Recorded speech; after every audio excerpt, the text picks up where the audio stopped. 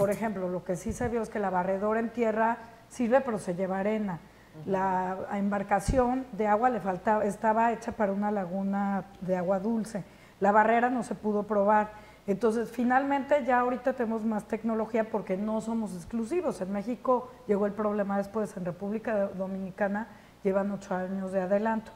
Y lo que ha pasado es que la tecnología es muy cara y si recuerdas cómo funciona el dinero del gobierno, es que pues se tiene que hacer licitaciones, primero hay que presentarlo en Hacienda. Entonces, no le hemos dado, las cabezas no le han dado la importancia de, de poder tener esos recursos para gestionarlos en su momento.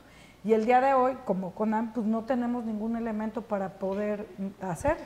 Entonces estamos esperando que salga un subsidio para trabajar con la comunidad, porque sí se hicieron programas de empleo temporal, barriendo el sargazo, que es mínimo lo que puedes hacer, ¿no? Entonces, se requiere, hemos ganado, por lo menos en información, en tener más accesibles las tecnologías, ya México ha hecho dos embarcaciones, unos chavos de Guadalajara, otros de Zacatecas, y al final puede estar mucho más a la mano que las tecnologías que nos han ofrecido de Francia, República Dominicana o de Canadá.